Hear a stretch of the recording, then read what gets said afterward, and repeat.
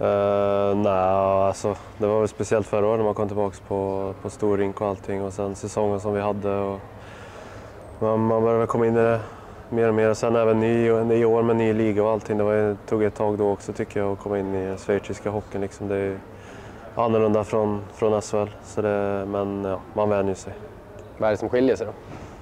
Spelet i SHL och Schweiz? Ja, både spelet och kanske även livet utanför.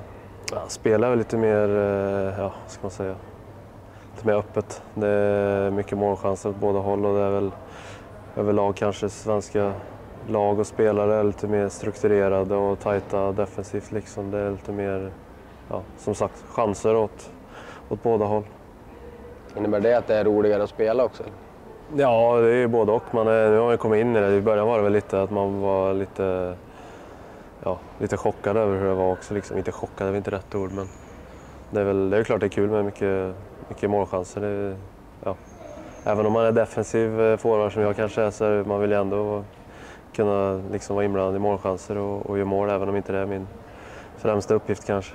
Vi går tillbaka till fjolåret då, för det var ju ganska speciellt ändå att få komma hem förstår jag och, och få stå där till slut och vinna SM-guld och dessutom få göra det efter en sjunde avgörande final.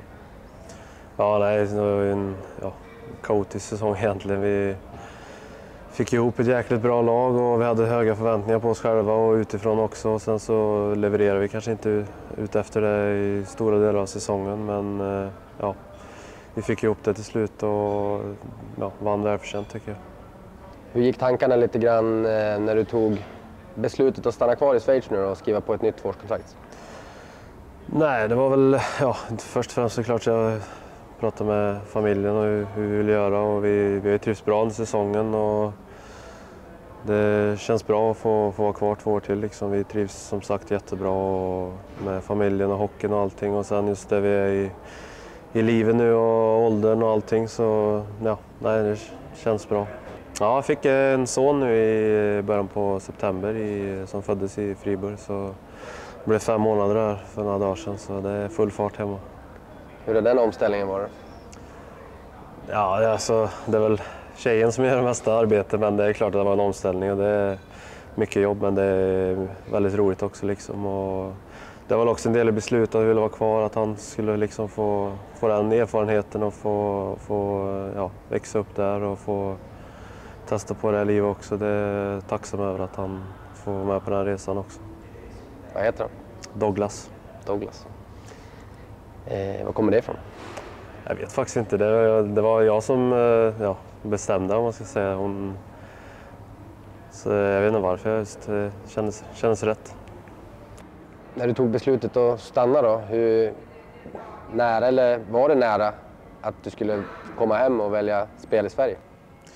Ja, det var alltså, jag kollade ju på, på alternativ, liksom, eh, dels i Schweiz och även hemma i Sverige också. Så det är klart att jag pratar, jag har varit öppen med att jag och Wallin har pratat under säsongen också liksom, om vi skulle komma tillbaka till Färjestad. Så det, det var aktuellt, men eh, ja, jag är nöjd med beslutet som jag, som jag tog. Och, som jag sa förut, när jag skrev de här två åren så får vi se vad som, vad som händer efter det. Nu har du två år till då efter det här året klart, men eh, om vi blickar ännu längre fram då, om man kan göra det. Men vad, vad känner du att du vill, höll jag på att säga, med din karriär? Du är relativt ung fortfarande. 27, fyller 28. Mm.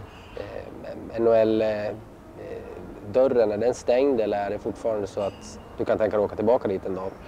Ja, alltså för att vara realist också. Liksom, det, skulle jag göra bra säsonger så visst, så hade man fått chansen igen hade man väl kanske tagit den. Men det känns ganska långt bort nu och jag är ganska inställd på att jag förmodligen kommer att göra mina resten av karriären i Europa om inte jag vaknar upp med superkrafter här efter näpen i eftermiddag. Men eh, nej, men det...